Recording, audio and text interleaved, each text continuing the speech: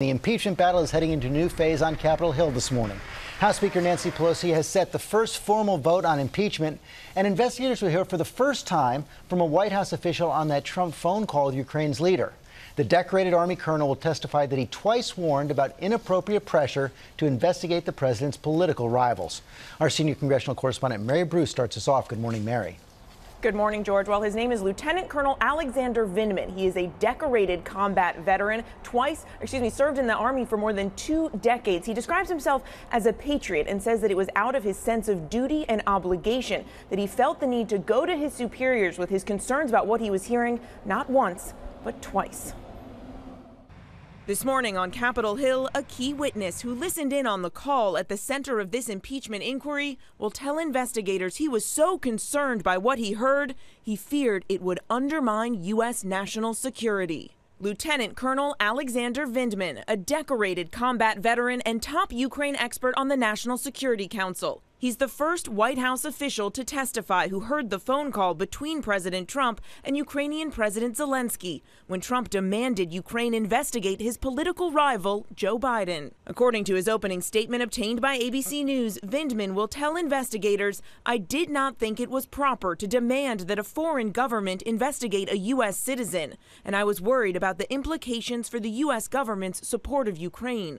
Vindman was also troubled by comments made by Gordon Sondland, the U.S. ambassador to the European Union and a key figure in this Ukraine investigation. Vindman will testify that during a meeting in the weeks before that call, Sondland started to speak about Ukraine delivering specific investigations in order to secure a meeting with the president. I stated to Ambassador Sondland that his statements were inappropriate, that the request to investigate Biden and his son had nothing to do with national security.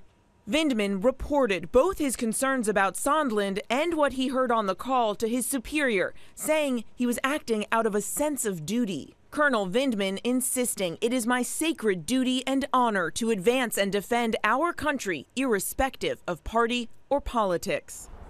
Now, Vindman says it was his priority to keep the U.S. relationship with Ukraine on track. And according to the New York Times, he was directed by his superiors, including then National Security Advisor John Bolton, to draft a memo that sought to restart the millions of dollars in security aid that was being withheld from Ukraine.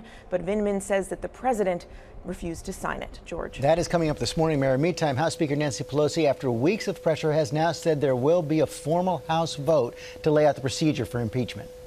And George, this vote that is set for Thursday will outline what comes next, including the procedures for public hearings. Now, unlike in the past, it is likely that, that, staff lawyers, not just members, will have to do some of the questioning. This vote will also outline what rights the White House has in this process. Republicans, of course, for weeks have been insisting that, that this investigation go public, that there are public hearings. This move now is in part an attempt by Democrats to try and put Republicans in a box, given their intent on going after the process here. Go goal is now a final vote by Christmas?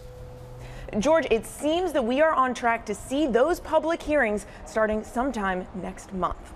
Okay, Mary Bruce, thanks very much. Hi, everyone. George Stephanopoulos here. Thanks for checking out the ABC News YouTube channel. If you'd like to get more videos, show highlights, and watch live event coverage, click on the right over here to subscribe to our channel. And don't forget to download the ABC News app for breaking news alerts. Thanks for watching.